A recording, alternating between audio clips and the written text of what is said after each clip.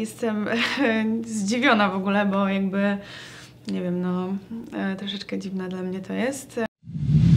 Powiem Ci tak, e, chwilę przed naszym wywiadem obejrzałam sobie jeszcze story e, Rafała. Tam e, jeden z internautów zadał mu pytanie, czy tęsknisz za Olą. On powiedział, że oczywiście, że tęskni. Pytanie do Ciebie, czy Ty też tęsknisz?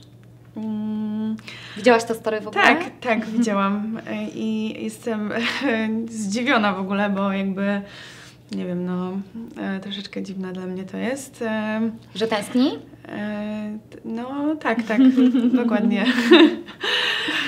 No nie wiem, jakby my nie mamy ze sobą kontaktu e, już teraz, nie, nie rozmawiamy i tak dalej, więc no, no nie wiem. A przyjaźń po związku istnieje? Ja chciałam, tak, tak, oczywiście, że chciałam em, się normalnie zostać w takich stosunkach koleżeńskich i przyjaźnych, ale niestety druga strona na to nie wyraziła chęci, więc jakby em, no tyle w temacie.